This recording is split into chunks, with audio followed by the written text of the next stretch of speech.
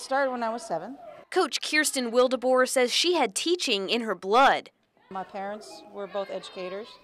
Um, my mom was an elementary and high school teacher. My dad was a high school and then he went to the college level.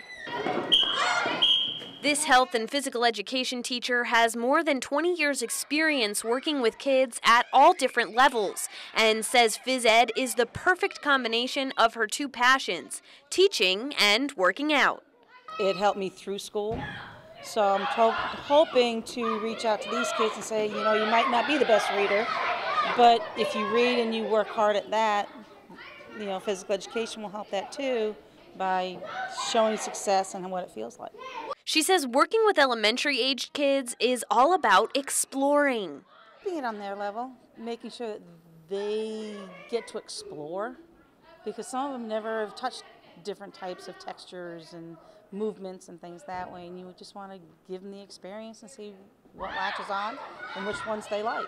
Will Wildeboer says kids need physical education just as much as any of their other classes, and she does her best to make getting active fun for all of her students. On behalf of our sponsors, Parkway Subaru and McDonald's, I would like to present you with this check for $300 for being our Teacher of the Week.